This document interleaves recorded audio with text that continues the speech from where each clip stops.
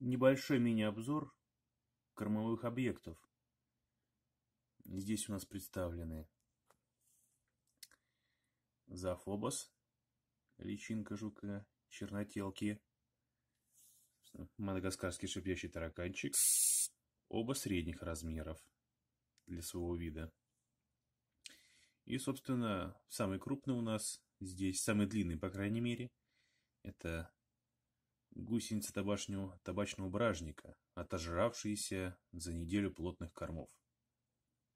Вот она у нас такая красивая, зелененькая. А тараканчику явно не нравится, что его трогают.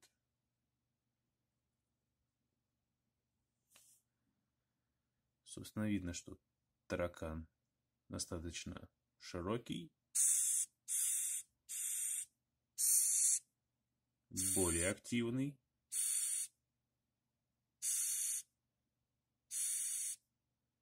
А гусеницы более пассивные.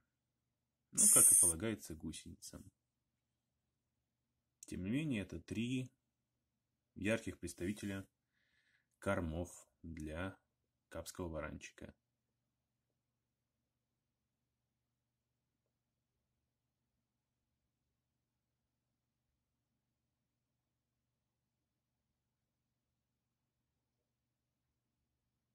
таракану явно не нравится, что гусеница хочет забраться на него.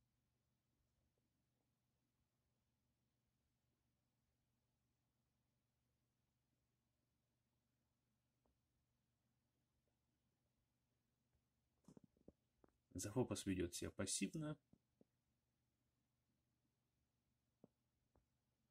Ну да ладно.